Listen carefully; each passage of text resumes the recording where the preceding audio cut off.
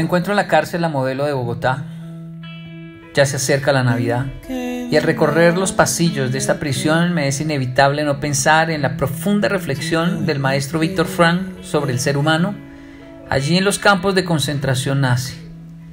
Todo me lleva a mi propia reflexión.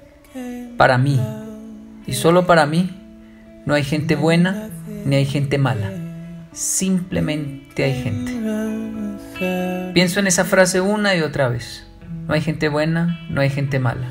Simplemente hay gente. Pienso también en un amigo cubano, exitoso gerente en México, quien me contó que su padre le daba carne una vez a la semana en la época de mayor pobreza y hambruna en Cuba. Una vez a la semana su padre le decía, no le puedes contar a nadie que yo soy el único que tiene carne en este barrio, porque el gobierno me la quita y los vecinos se mueren de envidia y no hay para todos.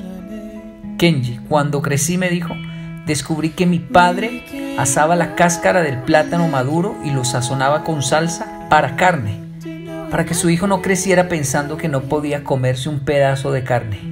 Y era eso lo que me daba con arroz. Hoy, cada vez que voy a comer carne, me acuerdo de mi padre, me dijo, de ese hombre heroico que se ingenió una carne para mí. Él me contaba eso con lágrimas y me hacía llorar también el cabezón. Pienso finalmente en esta Navidad y desde la prisión en Venezuela. Pienso en cómo un gobierno infame y sin alma le roba la alegría a su pueblo. Me gusta por eso ver cómo el venezolano denuncia y arremete con todas sus fuerzas contra la tiranía de ese gobierno. Lo veo lamentándose con rabia y razón y sintiendo nostalgia de las navidades pasadas. Veo cómo denuncia una y otra vez a través de imágenes, de videos y nos cuentan lo que está pasando.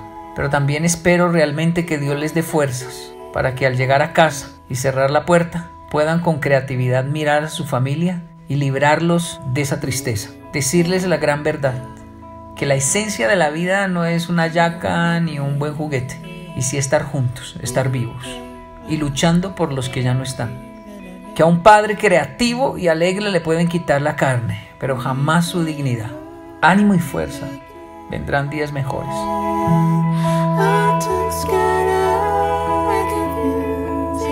Sé que es fácil decirlo desde afuera de la prisión. Sé que es fácil decirlo desde afuera de Venezuela. Pero si yo estuviera allá, no me gustaría un mensaje de condolencias ni de pesar, sino uno de fuerza y de valentía porque eso de sentir pesar realmente no me agrada.